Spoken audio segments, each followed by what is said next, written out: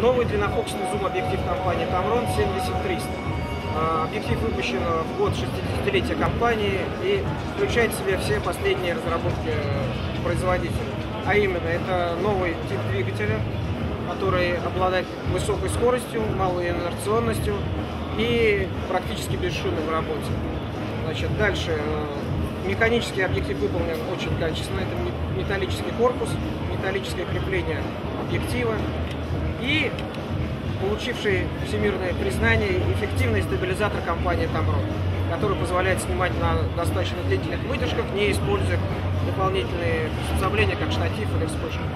Использование специальных сортов стекла позволило получить объектив с э, одним из самых высоких разрешений в своем классе в диапазоне вот от 70 до 200. Данный объектив обладает наиболее высоким разрешающим способностью среди аналогичных объективов.